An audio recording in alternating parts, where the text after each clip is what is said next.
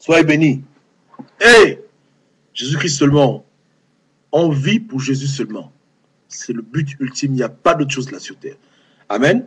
On va lire un passage aujourd'hui pour parler du mystère des trésors. C'est important. Amen. Parce que Jésus a fait beaucoup allusion au trésor.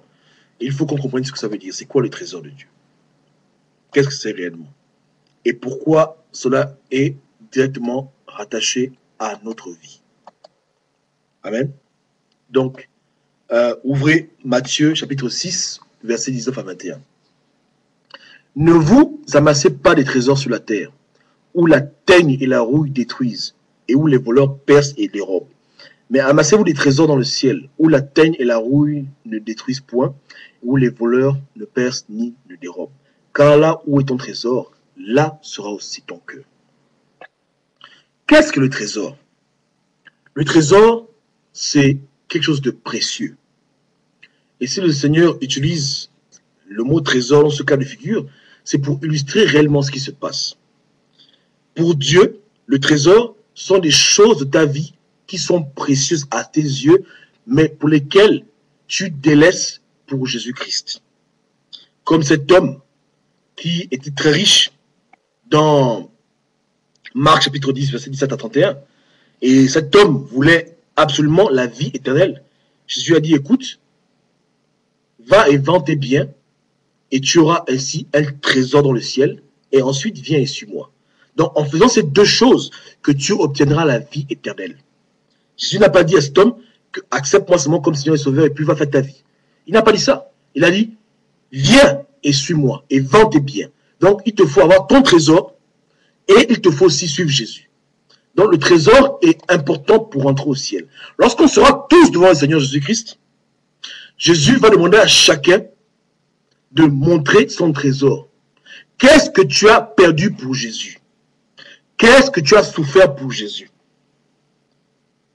Quelle humiliation tu as reçue pour Jésus? Voilà les choses qui vont constituer le trésor. Qu'est-ce que tu as donné de ta vie pour Jésus? Qu'est-ce que tu as coupé pour Jésus? Voilà ces choses qui constituent au ciel un trésor. Cet homme qui aurait dû donner toute sa richesse devant le Seigneur Jésus-Christ, il aurait eu un très gros trésor. Parce qu'il aurait renoncé à quelque chose qui lui était précieux pour Jésus. Abraham, devant le trône de Dieu, montrera Isaac comme étant son trésor. Car lorsque Dieu a demandé à Abraham de tuer Isaac, Abraham n'a pas réfléchi par quatre chemins. Il a pris son fils, il est parti pour le tuer. Dieu, ayant vu cela, était très réjoui. Dieu a stoppé l'acte. Mais néanmoins, l'intention était là. Donc Dieu a vu l'amour véritable. Parce que Dieu n'est pas un Dieu de, théorie. Hein. Dieu n'est pas un Dieu qui se fie à nos paroles. Ce ne sont pas nos paroles qui nous sauveront. Ce ne sont pas le, fruit de nos lèvres. On dit Seigneur, je t'aime, je t'aime, je t'aime. L'amour de Dieu, ce n'est pas un, un amour invisible. C'est un amour qui est tangible. Il te dira, tu m'aimes, ok, Qu'est-ce que tu as perdu pour toi dans ma vie? Dans ta vie du moins. À quoi est-ce que tu as renoncé pour moi? Montre-moi les actions qui prouvent que tu m'as vraiment aimé. Qu'est-ce que tu as fait? Qu'est-ce que tu as posé comme acte spirituel, mental, psychologique, psychique pour montrer réellement que tu m'aimes? Où est ton trésor? Les apôtres viendront et diront, Seigneur, mon trésor, voici. Voici ma vie. D'autres qui ont été décapités pour Jésus diront, Seigneur, voici ma tête. J'ai pas eu ma tête pour toi. D'autres qui ont été brûlés diront, Seigneur, regarde ma, peau. J'étais brûlé pour toi.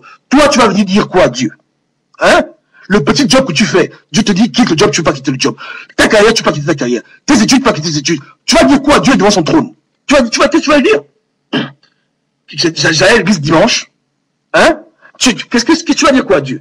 Qu'est-ce que toi, tu, qu'est-ce que toi tu, vas, tu vas dire à Dieu que tu as renoncé de précieux pour son royaume. Où est ton trésor devant Jésus? Où est le trésor? Il est où? Tu priais à peine, tu vivais une vie où Jésus était pour toi l'accessoire. C'est toi qui gères ta vie, Jésus-Christ ne te gère pas, tu fais ce que tu veux. Arrivé devant son trône, tu vas dire quoi à Dieu? Qu'est-ce que tu vas dire à Dieu? Je te le dis en vérité, toi-même tu vas te lever et tu vas seulement te retirer. Parce que tu sentiras que tu n'as pas ta place parmi les enfants de Dieu, qui chacun viendra avec son assiette remplie de trésors ceux qui ont abandonné leur richesse pour Jésus. Le mec, il avait un milliard d'euros. Il a dit, il veut plus de ça. D'autres, un million. Il a dit, il veut plus de ça. Il préfère vivre une vie comme ça et servir Jésus-Christ. Les gens viendront avec des trésors terribles. toi, ton trésor, ce sera quoi? Qu'est-ce que tu auras? Qu'est-ce que tu vas apporter devant le trône de Dieu? Comment est-ce que tu vas montrer à Dieu l'amour que tu as pour lui? Est-ce que tu faisais des jeûnes pour les gens? Non. Tu priais pour autrui? Non. Qu'est-ce que tu tu tu qu'est-ce que qu'est-ce qu'est-ce qu'il y a de précieux dans ta vie que tu as donné, que tu as délaissé, que tu as même tué pour Jésus? C'est quoi le truc? Qu'est-ce que tu as fait? Voilà les questions que tu dois méditer. Donc quand tu vois les opportunités pour toi de pouvoir gagner des points, avoir des trésors, n'hésite pas. N'hésite pas. N'hésite pas. Fais ce que tu dois faire.